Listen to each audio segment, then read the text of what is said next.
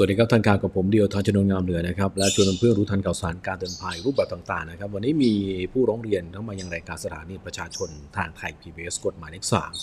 ตอนบ่ายสองห้านาทีจนถึงบ่ายสามนะว่าเป็นผู้เสียหายหรือว่าเขาไปลงทุน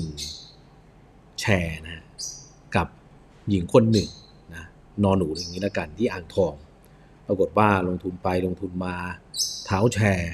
ไม่ยอมจ่ายเงินนะฮะก็เลยต้องไปร้องตำรวจปอสอง มีความคืบหน้าคือว่าทางทีมงานก็มีการประสานไปยังปอสและตำรวจปอสก็ประสานไปยังพื้นที่ ก็รอนะครับที่จะมีการรวบรวมพยานหลักฐาน แล้วก็สอบสวนเพื่อที่จะดำเนินคดี แต่เพื่อที่จะให้รู้เท่าทันนะเพราะว่าวันนี้เนี่ยสัมภาษณ์ผู้เสียหายนะครับ ว่าตกลงแล้วเนี่ยมันเข้าข่าย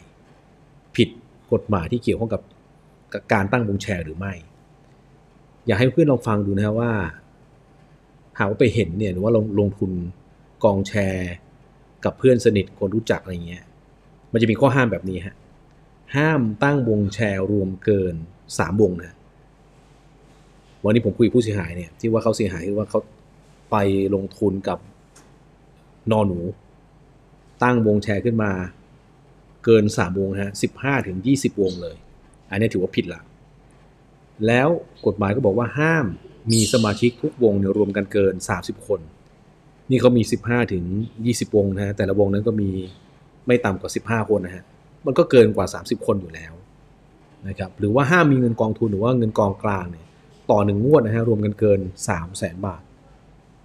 นี่ก็ทะลุหมดเลยฮะก็สรุปว่ามันผิดกฎหมายนะครับ แต่ถามว่าเล่นแชร์ได้ไหมได้ แต่ต้องสังเกตว่าห้ามมีการตั้งสามวง ห้ามเกิน 30 คนอย่างนี้เป็นต้นนะครับทีนี้ถ้าเกิดว่าตกเป็นผู้เสียหายต้องทำยังไง คุณก็ต้องรวบรวมหลักฐานแคปหน้าจอใน Facebook เพจไลน์ของเท้าแชร์ที่ว่ามีการเชื้อเชิญ และห้ามมีการโฆษณานะปรากฏว่าเท้าแชร์นี้มีการโฆษณาผ่านทางเพจ Facebook คนก็ไปเห็นนะกินหนูหรูอยู่สบายก็จริงอะแต่ว่าเขาก็มีการโพสต์ภาพโพสต์ข้อความชักชวนตรงนี้ ก็ไม่ได้ ถือว่ามีความผิดนะฮะ เพราะว่าระบุไว้เลยห้ามโฆษณาหรือประกาศชี้ชวนให้ประชาชนทั่วไปร่วมเล่นแชร์ฝ่าฝืนเนี่ยปรับไปเกิน 50,000 บาทด้วยอ๋อนะฮะดังนั้นช่องทางไหนที่คุณสามารถไปแจ้งความได้บ้างนะ thaipoliceonline.com ก็ได้ www.thaipoliceonline.com นะครับ หรือจะไปแจ้งความกับตำรวจในพื้นที่นะก็ได้ก็เป็นช่องทางหนึ่ง สายด่วนนี้ก็ได้ฮะ 1359 ครับ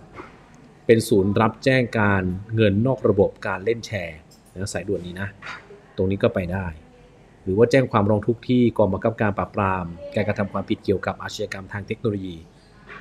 ต้องบอกไว้ก่อนว่ามูลค่าเนี่ยความเสียหายต้องเกินกว่า 5 ล้านบาทนะฮะก็ประมาณนี้ครับเพื่อนๆนะฮะอยากจะให้รู้เท่าทันเพราะว่ามีผู้เสียหายเกิดขึ้นทุกวันจริงๆครับ